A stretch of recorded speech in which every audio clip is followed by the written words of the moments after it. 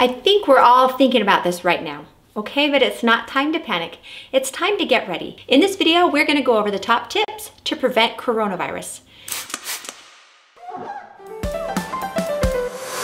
Right now we're doing social distancing, or as I like to say, physical distancing, because we can still be social, just in different ways, right? So instead of the regular way, Janet and I are filming from our separate homes. How are you handling it, Janet? Last week, my husband and I had our first coronavirus fight.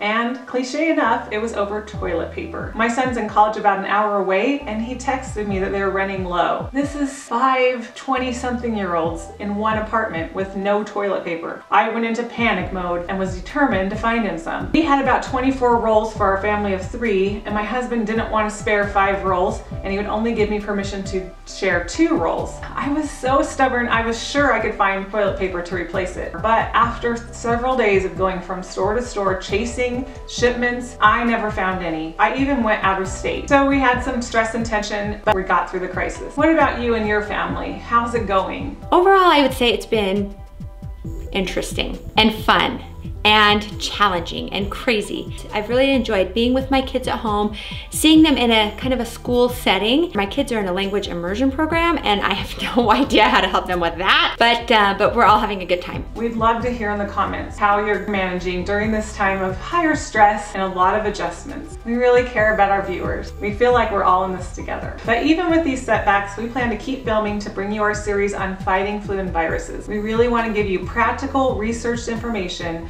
that that you can apply at home right now. As you know, there's currently no vaccine to prevent coronavirus. So the best way to prevent it is to avoid being exposed to it. Older adults and people who have severe underlying chronic medical conditions like heart or lung disease or diabetes seem to be at higher risk for developing more serious complications from COVID-19. Be sure to consult with your healthcare provider about additional steps you may be able to take to protect yourself. Tip number one, spread out. The virus is thought to spread mainly from person to person, between people who are in close contact with one another within about six feet. And six feet is a lot more space than you think. Your arm is about 2.2 feet on each side, so I have about five feet when I put out both of my arms. We really need to do this quickly so we can space out at the the store and other public places. Is that happening near you? I think that my community is doing a good job at following this advice. This virus spreads through respiratory droplets produced when an infected person coughs or sneezes. And that's why it's so important to cough into our elbow.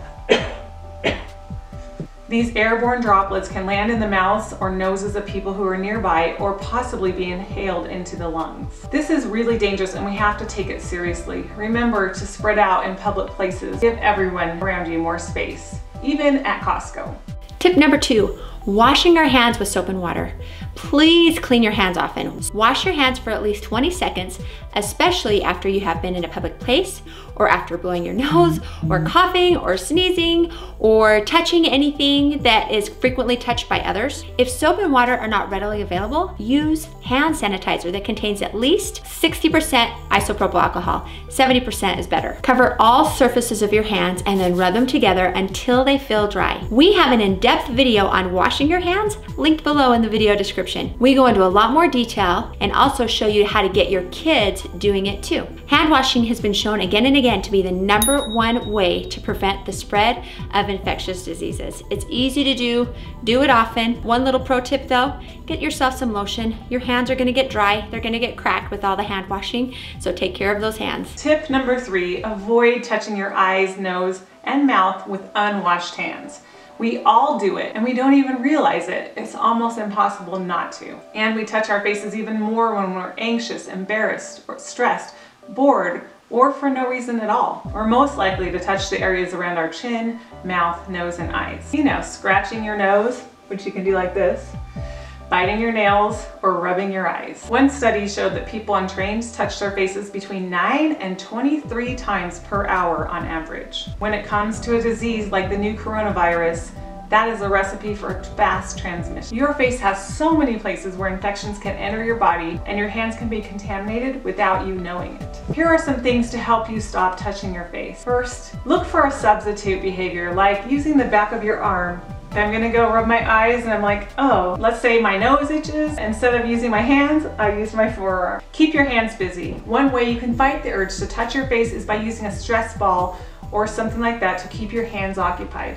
Others have had success fiddling with a rubber band wrapped around their wrist. Ask someone to help you by pointing out when you're touching your face. Remind your kids throughout the day not to touch their face. Tip number four, avoid close contact by staying at home. Avoid contact with people who are sick.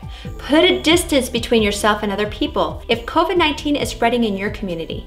This is especially important for people who are at higher risk of getting sick. Take steps to protect others. Remember to check on older people in your neighborhood, your relatives, help them stay safe by picking up things at the store if you have to go. But remember to try to limit the trips to the store. The best place to avoid people right now is at home. Sit back and watch Netflix and just chill or Disney Plus or whatever. And remember, if you have Amazon Prime, you can actually watch Amazon for free. We have some upcoming videos on what you can do at home with your kids coming up next week. Tip number five, stay home if you're sick except to get medical care. Do not go to work. If you go to work when you're sick, you endanger others. And if your kids are still in school, do not send them if they're sick. If you do get sick, watch our video on what to do. We'll put a link in the video description below. Tip number six, cover coughs and sneezes. Cover your mouth and a nose with a tissue when you cough or sneeze, or use the inside of your elbow.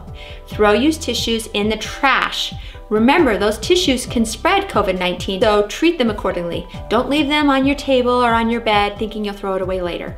Throw it away as soon as you're done with it. Then, make sure to go wash your hands with soap and water for at least 20 seconds. If soap and water aren't readily available, as I mentioned before, use hand sanitizer that contains at least 60% alcohol. Tip number seven, if you're sick, you should wear a face mask when you're around other people, like sharing a room or in the car and before you enter a healthcare provider's office. If you're not able to wear a face mask, for example, because it causes trouble breathing, then you should do your best to cover your coughs and sneezes, and people who are caring for you should wear a face mask if they enter your room. Now, if you are not sick, you do not need to wear a face mask, unless you're caring for someone who is sick and they are not able to wear a face mask. Face masks are in short supply, they should be safe for caregivers. Right now, it seems like it's almost fashionable to wear a face mask but it's so important that you don't use it if you don't need it. If you want to wear them for fashion, we'll put a link to Amazon where you can buy costume versions. Doctors, nurses, and other medical professionals are having to reuse face masks because we don't have enough. Tip number eight, clean and disinfect. Clean and disinfect frequently surfaces that are touched daily. This includes tables, doorknobs, light switches, countertops, handles, desks, phone, keyboards, toilets, faucets, and sinks, any place that you touch on a regular basis in your house. Mentally think about it as you go about your day, things that you touch a lot, and then be sure to go and clean those. The easy way to do this is right before you go to bed. That way when you wake up, you know that your home is clean and ready for the day. If surfaces are dirty, clean them. Use detergent or soap and water prior to disinfecting infecting. In order to disinfect, you can use the most common EPA registered household disinfectants. Make sure to use the disinfectants that are appropriate for the surface. We like the simple solution below. You can pick up a handy spray bottle to put this in. While you're at it, get some simple white towels for cleaning. Amazon is great because you don't have to go out and get them. We'll put the links below, but they're handy because when you are done cleaning, you can just throw them in the washer and wash it in hot water with bleach. Make sure you watch our video on cleaning towels and linens. We'll link that in the video description down below. Tip number nine, the simple solution. You may be asking, what is the simple solution? Well, it's just basic diluted household bleach. Diluting your bleach. To make a bleach solution, mix five tablespoons, which is a third of a cup, bleach per gallon of water, or four teaspoons of bleach per quart of water. Follow the manufacturer's instructions for application and proper ventilation. Check to ensure the product is not past its expiration date. And never mix household bleach with ammonia or any other cleanser. Unexpired household bleach will be effective against coronaviruses when properly diluted. Or you can use isopropyl alcohol, but ensure that it's at least 70%. Let it sit on the surface for at least 30 seconds to disinfect. Alcohol is generally safe for all surfaces, but can discolor some plastic. Finally, tip number 10. The most important thing you can do right now really is to stay calm. Stay calm for yourself, stay calm for your family. Remember, your kids are watching you too. If they see you being anxious and nervous, that can make them feel anxious and nervous as well. And we don't want them worrying about things like this. Make sure to educate your kids about coronavirus, but don't scare them. Thanks everybody for watching. Remember, if you liked what you saw today, subscribe and ring the notification bell to get notified of all our future videos. Don't forget to share and pin this video so your friends can see and enjoy it too.